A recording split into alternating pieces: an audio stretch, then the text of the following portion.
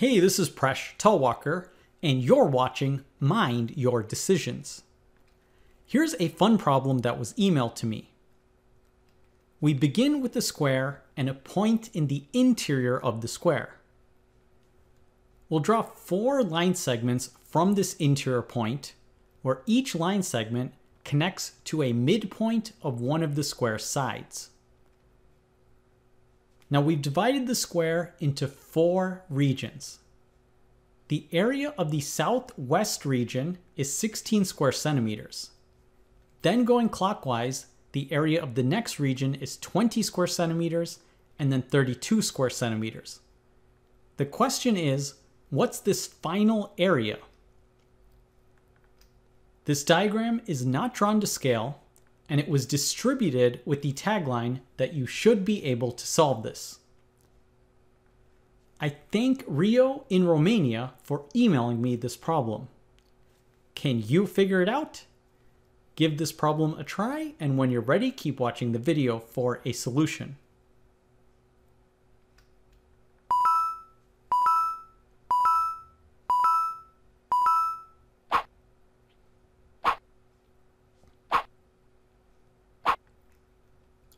So a key principle in this problem is the formula for the area of a triangle, which is equal to 1 half the base times the height.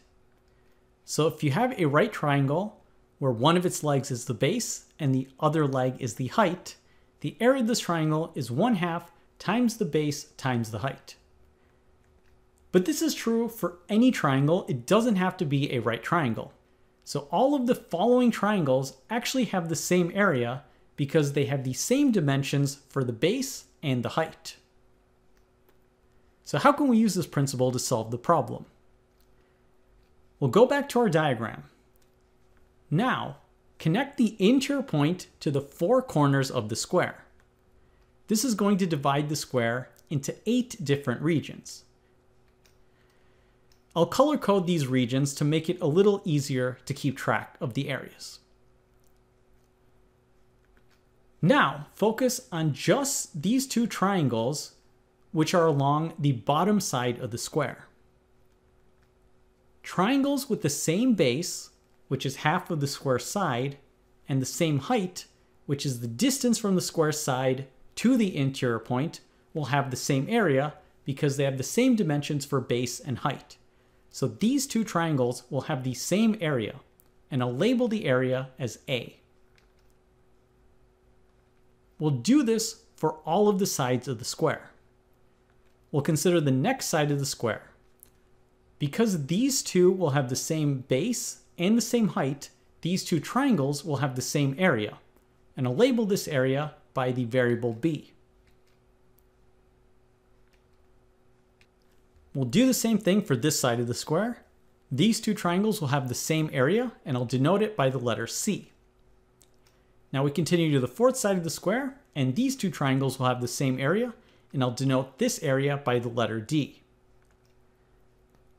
Now, how can we solve for the unknown area? Well, let's take these variables with the given information. a plus b is equal to 16, b plus c is equal to 20, and c plus d is equal to 32, and we want to solve for a plus d. How can we do that? Well, notice that the quantity a plus b plus the quantity c plus d is equal to the quantity b plus c plus the quantity a plus d. In other words, the sum of opposite areas are equal. So we know three of these areas, so we have 16 plus 32 is equal to 20 plus the unknown area of a plus d. We then solve that a plus d is equal to 16 plus 32 minus 20, which is equal to 28. And that's the answer. Now, if you like this problem and wanted a little bit more of a challenge, I previously discussed a challenge problem for talented fifth graders in China.